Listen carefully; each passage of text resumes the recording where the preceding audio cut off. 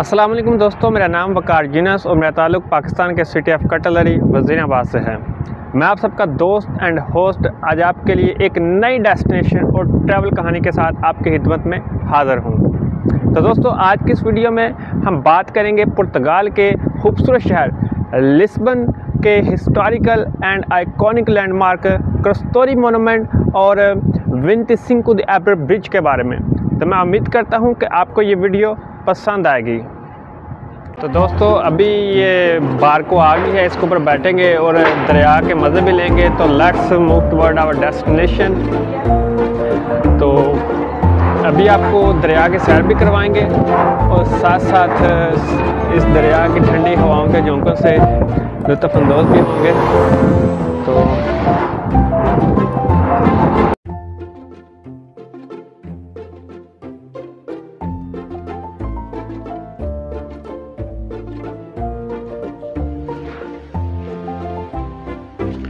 Wow, so beautiful, friends. Have you seen this barco before? So beautiful. Let's go check it on. Come on. Looking so beautiful. Wow, neat and clean. No more crowded. I think it gave me beautiful and breathtaking views. Wow.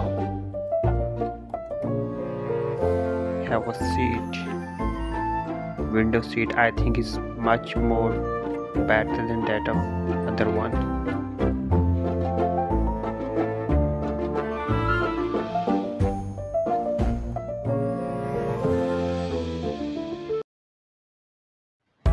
So I think within 10 minutes we will be on the other side of the river. It will take only i think 10 minutes. And then we will take a bus and uh, move toward our final destination almada monument Cristoroy monument. Okay?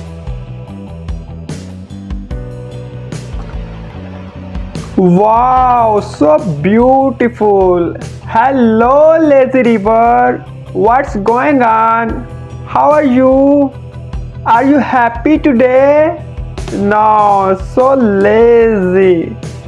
दोस्तों कश्ती में बैठ के तो feeling ही कुछ और हो जाती है एकदम मस्त वाली cool vibes life feel life feel like different here surrounded by blue water everywhere everywhere वो पोएम याद आ रही है ना वो क्या थी? वाटर वाटर एवरीवेयर कैसे ज़रा ट्राई करो ना।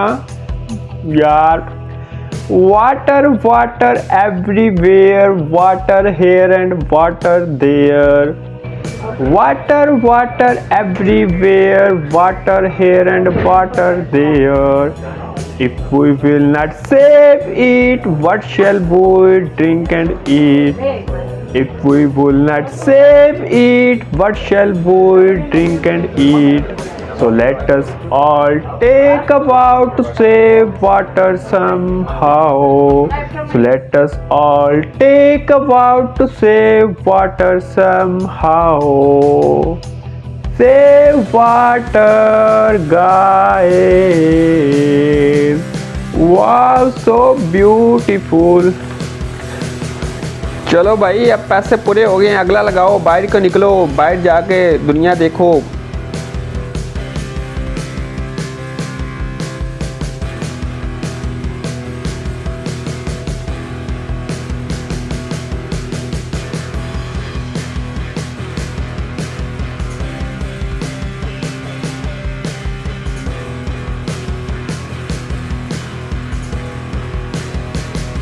So guys, destination is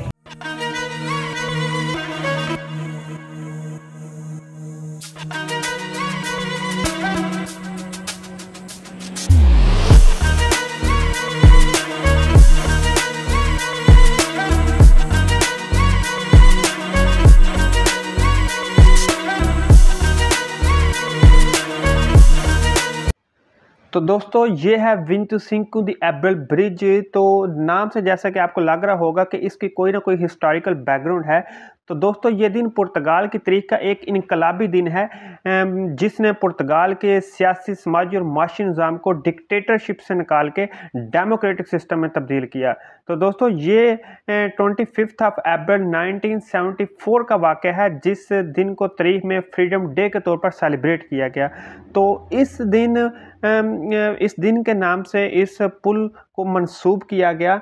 तो ये जो ट्वेंटी फिफ्थ ऑफ़ एब्रे ब्रिज है is a very famous bridge located in Lisbon city of the Portugal तो दोस्तों it hold historical and cultural significance and is one of the iconic landmark of the Lisbon city and stand as a symbol of architectural excellence and play a vital role in the connectivity and beauty of the Lisbon landscape तो दोस्तों अब बात कर लेते हैं क्रिस्टर monument which is also known as Christ king monument and it stand at height of 110 metre including its pedestal तो दोस्तों ये क्रिस्टर मोनोमेंट आने वाले सयाह को टूरिस्ट को अपने ओपन uh, आर्म्स के साथ वार्म वेलकम बोलता है।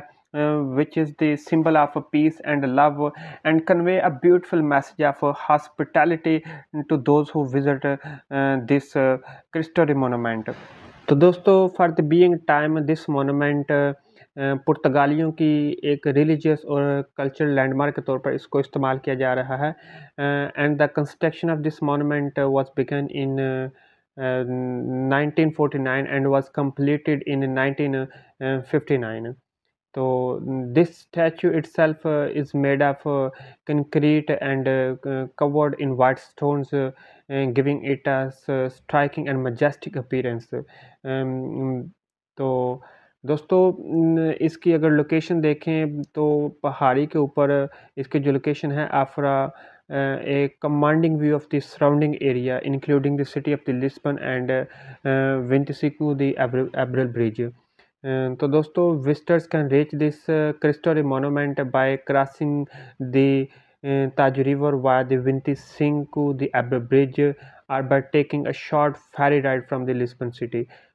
So upon reaching this monument, uh, they can climb to the observation desk located inside the statue, um, which provide a breathtaking panoramic view of the Lisbon city, the river, and the surrounding landscape. So it offers a serene and reflective atmosphere for visitors of all backgrounds uh, to appreciate the beauty, significance, uh, and tranquility of the monument and its surroundings.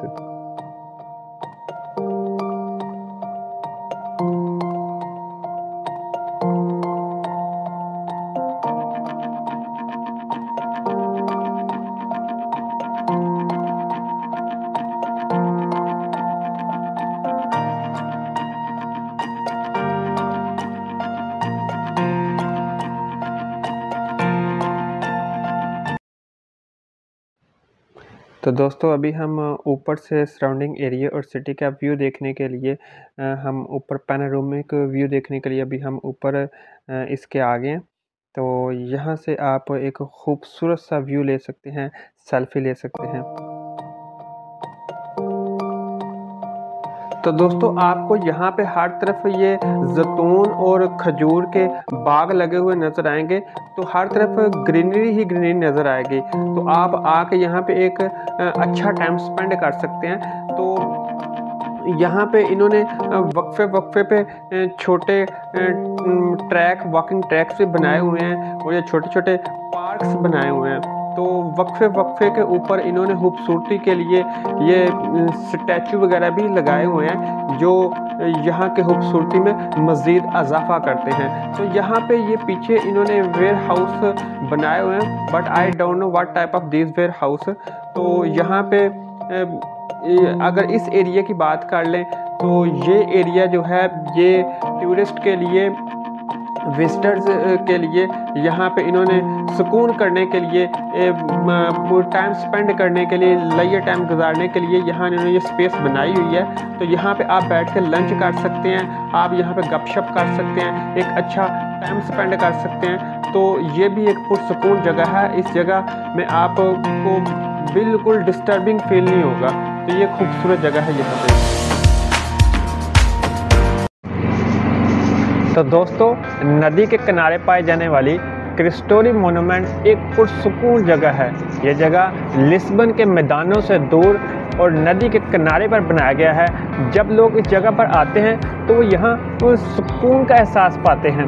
नदी के आहिस्ता चलने की आवाज़, पानी की लहरें और परिंदों की गूंजती हुई आवाज़, पत्तों की सरसराहट ये ऐसी चीज़ें हैं जो सैर करने वाले को अपनी तरफ़ अट्रैक्ट करती हैं और अपने शहर का जादू जगाती हैं।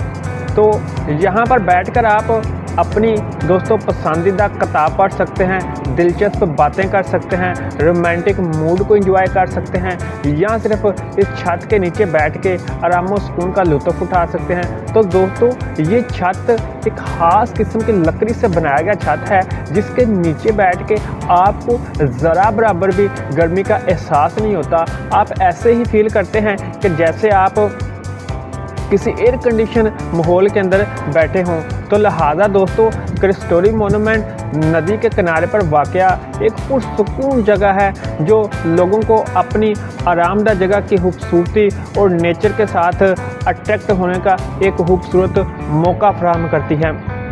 तो दोस्तों, जब कभी भी आप ऐसी जगह पर तशरीफ़ लेके जाएँ तो अपने आसपास के जंगली दरख्तों को नज़रअंदाज मत करें। आप फूलों की फूलों की जो खुशबू है, उसको महसूस करें और फूलों की रंगीनी से लुत्फ़अंदोज़ होने की कोशिश करें। और यहाँ पर नदी के किनारे बैठ के आप सबसे पहले तो अपने दिल को पुरसकून बनाएँ, दिमाग को इधर उधर की उलझनों और परेशानियों से हाली करें और कुछ लम्हे के लिए मेडिटेशन में चले जाएँ, मुराकबे में चले जाएँ। आप गहरी साँसें लें, गहरी साँसें लें और फिर आहिस्ता से सांसों को बाहर की तरफ़ छोड़ें और नेचर को खूब इंजॉय करें। लेट्स प्रैक्टिस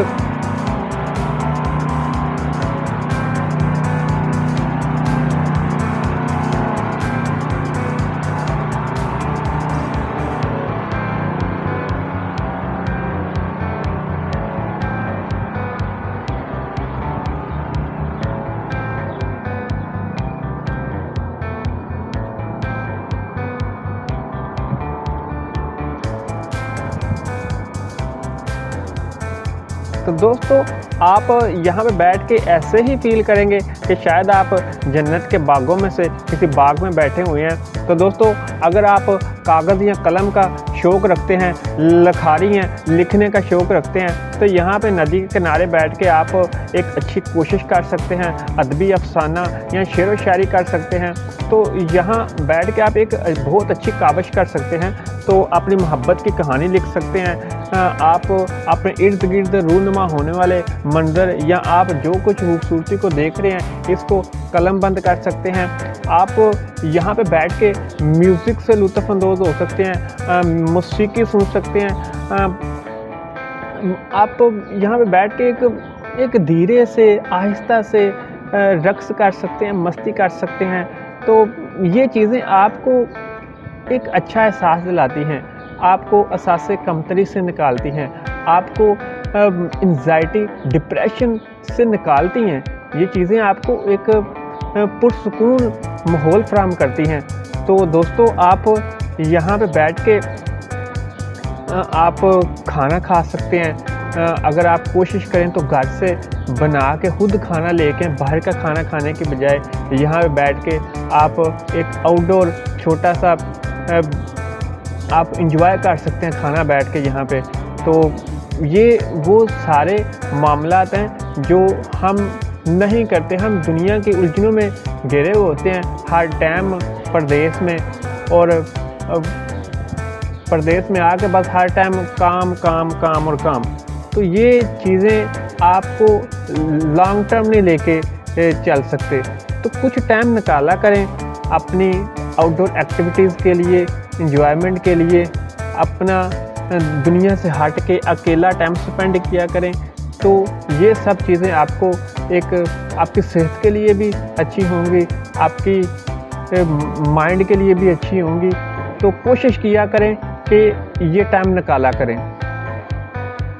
तो दोस्तों, अगर आप फोटोग्राफी का शौक़ रखते हैं तो कोशिश किया करें कि ऐसी जगहों पर आके तंबाकू नोशी करने की बजाय बुक रीडिंग और सेल्फीज बनाया करें, दोस्तों के साथ फ़ोटोज़ लिया करें और अपने इर्द गिर्द खूबसूरत जगहों और चीज़ों की तस्वीर लें और इन सब चीज़ों को अपनी मेमोरी बॉक्स में सेव करें ताकि आने वाले वक्त में आपको अपना एक अच्छे पास्ट का अंदाज़ा हो कि भाई हमने जो टाइम स्पेंड किया है, वो अच्छा किया है और नेचर को इंजॉय किया है। वो कहते हैं ना कि nature heals slowly but surely तो नेचर वो चीज़ है जो आप की तमाम दुख, दर्द और परेशानियों को दूर कर देती है। तो इसको इंजॉय किया करें। ये गिफ्ट पॉइंट है दोस्तों और इसके बिल्कुल लेफ़्ट साइड पे आपको कैफेटेरिया देखने को मिलेगा, जहाँ पे आप हल्का फुल्का खाना खा सकते हैं और स्नैक्स बार वगैरह इंजॉय कर सकते हैं। तो ये हल्का फुल्का आप यहाँ पे खाना खा सकते हैं। तो दूसरी अगर बात करें ये गिफ्ट पॉइंट की तो इसके अंदर जाकर देखते हैं। लेट्स सी अंदर इसके क्या हमें देखने को मिलेगा और कैसे प्रोडक्ट्स हैं टूरिस्ट के लिए।